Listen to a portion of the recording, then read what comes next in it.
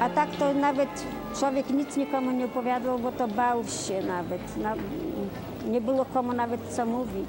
Teraz to już tak mniej więcej, ale teraz też nie bardzo słuchają. Uważają to, co tylko co w Niemczech byli, to uważali. Te, te byli ucierpieli, ale co w Rosji ucierpieli, to już nie, nieważne takie.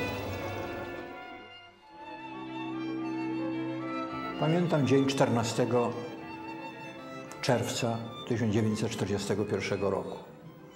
Wczesne godziny ranne, chyba musiała być jakaś godzina piąta, szósta, łomotanie do drzwi i wreszcie wchodzą żołnierze, odczytują postanowienie o deportacji.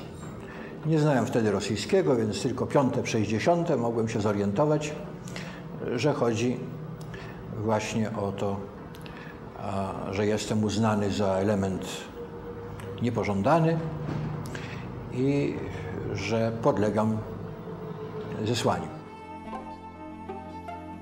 This is the first time in my life that I truly had fear in my heart as to what's going to happen when they close the door with a bang.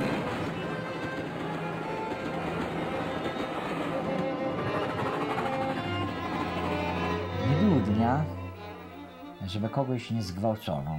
Były to gwałty zarówno na dziewczętach, jak i gwałty homoseksualne.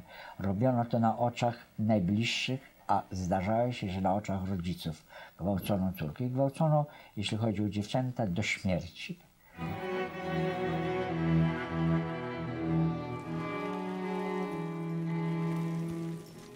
Pracowałem w okropnych warunkach przez wiele, wiele lat. To są najstraszniejszy okres w moim życiu.